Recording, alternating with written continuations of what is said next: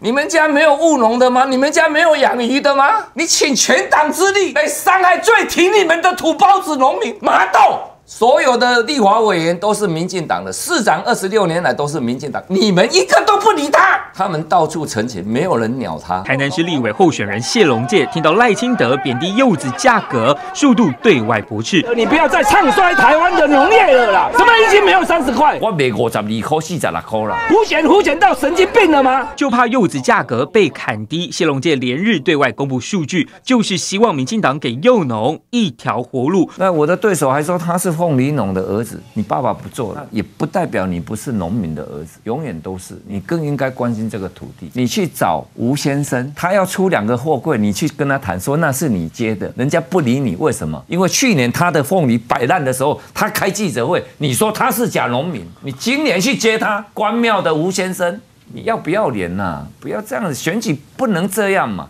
不要背离人性。我说他们为了选举抹黑了这些幼农，你打击我无所谓嘛。但是我们已经公布价格了嘛，对不对？啊，一点五五十二块四十六块四，他还是提三十块，今天又更提到二十五块一斤 了。你找我过去给农民会哭呢。我真的是的，你讲三十块，你在侮辱农民呢？你害死农民，三十块竟然对你的嘴来底讲出来。绿营损害农民权益已经不是第一次。戴斗笠，争权利。二零一一年，台中东市农民出面抗议，自己种的田是价格直直落，罪魁祸首就是民进党。民进党这一报，我们的所有的直销订单全部没有了。他说一斤两块而已，你们卖我们那么贵。当年蔡英文和马英九为了竞争二零一二大选，推出水果月历文宣，每个月份列出最低收购价格，民进党当作选战。政治武器。原来民进党从中央到地方又开记者会，然后一直打你。事隔八年，一样的手法再度搬上舞台，到底是加分还是减分？民进党虽然执政，有很多的批评，有很多的质疑，他被受到很大的一个挑战。啊你来来到现场，还能感受到迄款的气氛啊，